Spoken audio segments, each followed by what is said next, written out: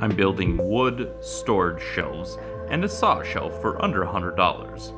I have only bought brackets and clear matte coating for the two large shelves. The rest of the materials are from my stock of supplies I have accumulated. I'm Obie, and you're watching Obie'z Lab!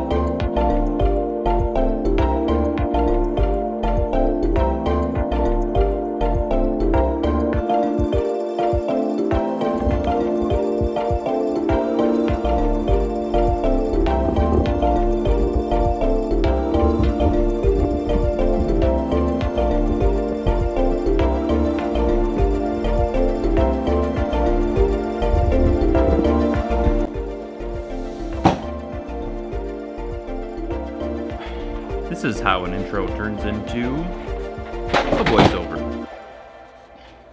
Oofda.